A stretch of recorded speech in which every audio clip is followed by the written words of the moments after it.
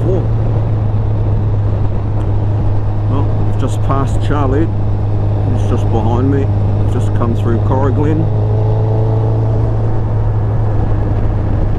We're uh, climbing back up the hill, up towards Whitianga for a spot of lunch.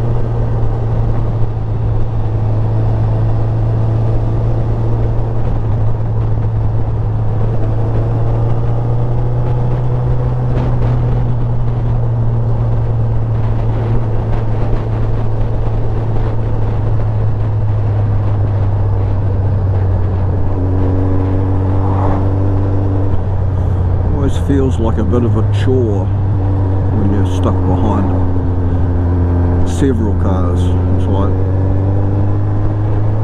you need to get past them all.